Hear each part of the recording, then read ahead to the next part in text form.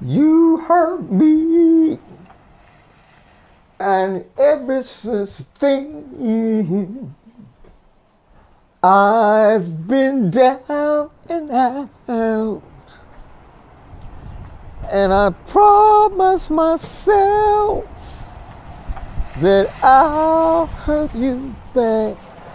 Yes, I'll get revenge.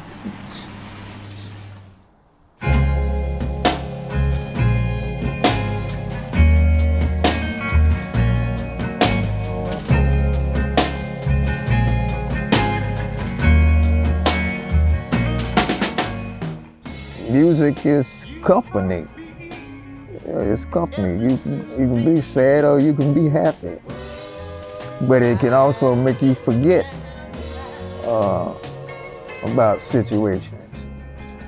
The song I Can't Hurt You Back was about a young lady when I was in the military.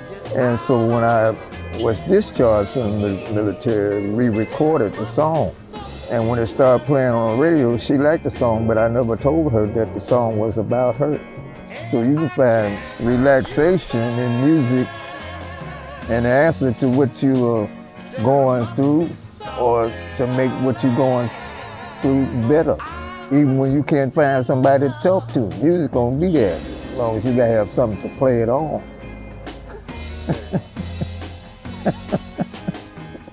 Radio, whatever.